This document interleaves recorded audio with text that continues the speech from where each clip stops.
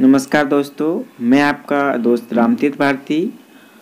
आप सभी का स्वागत करता हूँ अपने YouTube channel economics with Ramtirth में। साथियों, आज हम एक क्लास लेकर आए हैं जिसका नाम है मांग में परिवर्तन चेंज इन डिमांड साथियों, पुराने पेपर में कई बार यहाँ से क्वेश्चन पूछा गया है तो मैंने सोचा क्यों ना इस पर एक वीडियो बना दी जाए जो आपके लिए बहुत ही इफेक्टफुल साबित हो। तो साथियों, देखते हैं मांग में परिवर्तन चेंज इन डिमांड साथियों, एक व्यक्ति का मांग वक्र इस मान्यता पर खींचा जाता है कि उसकी मांग को प्रभावित करने वाले घटक स्थिर रहते हैं। उसकी मांग को प्रभावित करने वाला कोई एक घटक भी परिवर्तित होता है तो उपभोक्ता के मांग वक्र में परिवर्तन आता है। वास्तव में मांग में परिवर्तन का अध्ययन करते समय वस्तु की कीमत को स्थिर मान लिया जाता है। यदि उपभोक्ता की आय में परिवर्तन, रुचि में परिवर्तन के कारण वस्तु की मांग बदलती है तो इसे मांग में परिवर्तन कहते हैं। साथियों, ये जो मांग में परिवर्तन होती है चेंज इन डिमांड जो होती है, वो दो प्रकार से होती है। या तो मांग में वृद्धि या कमी होगी, या फिर मांग में विस्तार या संकुचन होगा। तो साथियों, आगे देखेंगे कि ये कैसे होता है। सबसे पहले हम बात करेंगे मांग में वृद्धि या कमी। तो साथियों, किसी वस्तु की कीमत किसी वस्तु की कीमत क्या होती है? स्थिर रहने पर, जब उपभोक्ता की आय बढ़ती है। साथियों, मान लो कि आज मार्केट में आलू दस रुपये किलो है तो आलू दस रुपये किलो ही रहेगा। लेकिन अगर मान लो किसी की आय दस हज़ार रुपये है तो उसकी आय क्या होगी? पंद्रह हज़ार हो जाएगी। कहने का तात्पर्य ये है कि कीमत स्थिर रहेगी और मांग परिवर्तित हो जाएगी। तो उस वस्तु के लिए उपभोक्ता की, उपभोक्ता का मांग वक्र दाई ओर सरक जाएगा। साथियों, ये वाला जो वक्र है, ये दाई ओर सरक जाएगा और जब ये दाई ओर सरक जाएगा तो स्वाभाविक सी बात है कि व्यक्ति मांग में वृद्धि करेगा।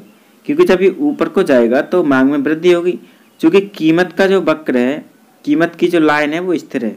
कीमत ना तो बढ़ रही है और ना घट रही है। लेकिन मांग क्या हुआ? मांग पहले क्यू थी, फिर क्या हो गई? क्यू वन हो गई। और ये हमारा जो मांग वक्र था डी डी डी ये डी वन और डी वन मांग वक्र में चेंज हो गया। ये स्थिति ए थी और ये स्थिति बी हो गई। तो साथियों आई होप आपकी ये समझ आ गया होगा कि मांग में वृद्धि कैसे होती है। आगे बात करेंगे मांग में कमी। साथियों, जैसे मांग में वृद्धि हुई थी, ठीक उसी के विपरीत मांग में क्या होती है? कमी होती है। वहाँ मांग वक्र जो था, वो दाई ओर को सरक रहा था और यह मांग वक्र बाई ओर को सरकेगा, यानी नीचे को सरकेगा।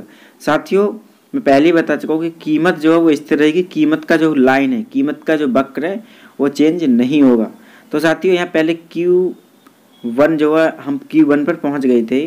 लेकिन जैसे ही किसी व्यक्ति की आय कम हुई तो क्या होगा? उससे मांग में कमी हो जाएगी। पहले क्यू वन तक पहुँच गए थे हम, अब फिर से क्या करेगा ये? क्यू वन खरीदेगा।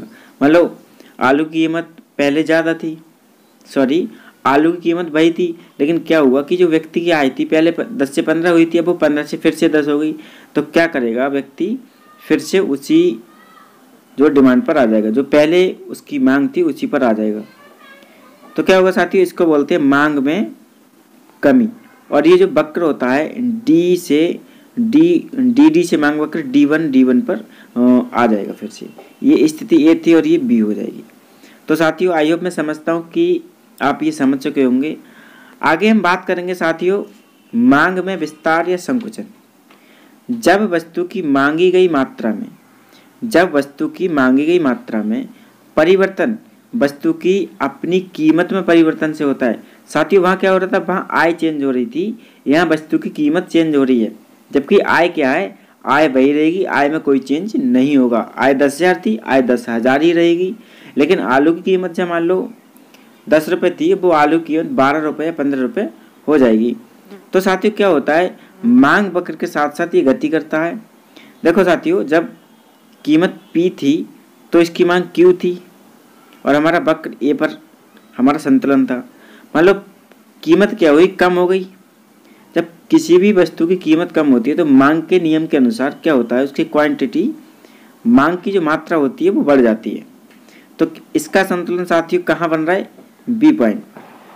तो जब वस्तु की कीमत कम हो रही है, जब वस्तु की कीमत कम हो रही है तो मांग में वृद्धि हो रही है। और जब वस्तु की कीमत में कमी हो रही है सॉरी वस्तु की कीमत में वृद्धि हो रही है तो मांग में कमी हो रही है। तो साथियों जैसे जैसे डिमांड सॉरी जैसे जैसे कीमत बढ़ेगी जैसे जैसे प्राइस प्राइस बढ़ेगा तो डिमांड क्या होगी? कम होगी। और जैसे जैसे जैसे जैसे प्राइस घटेगा डिमांड क्या होगी? डिमांड बढ़ जाएगी। तो साथियों, ये आपके पास अच्छे समझ आ गया होगा। तो साथियों, आपकी तो साथियों, मैं आशा करता हूँ कि आपकी समझ आ गया होगा। मिलते हैं अगली क्लास में। कमेंट्स के माध्यम से ज़रूर बताएँ कि क्लास कैसी लगी। जय हिंद, नमस्कार।